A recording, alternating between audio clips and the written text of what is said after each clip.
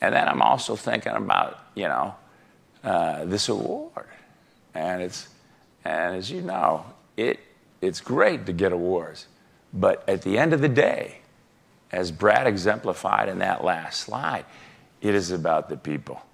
And uh, our noble mission uh, starts with people.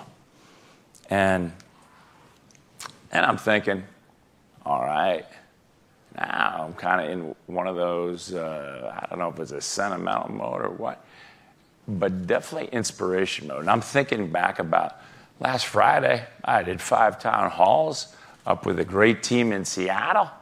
We had the holiday party. Of course, Metta and I were the last to leave because we like to, uh, after all the VIPs leave, we like to dance like nobody's looking. And uh, it was amazing. So I'm thinking, all right. And I'm also thinking, same thing Brad was thinking, why did everybody ask me the question, why'd you come back and be a CEO? And it really boils down to inspiration. And what inspires me is to see people do things they never thought were possible and given opportunities that they never dreamed of.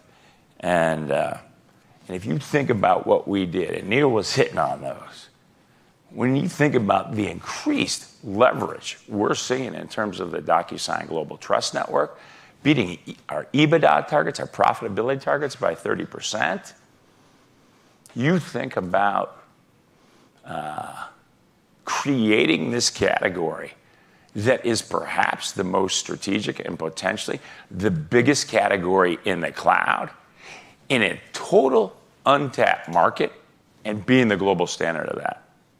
You think about our investors, the most powerful public institutional investors in the world are investors in us.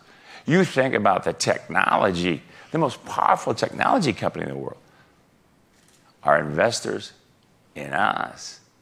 And you think about how we did all of this in terms of becoming the global standard. We just built a product that people just love.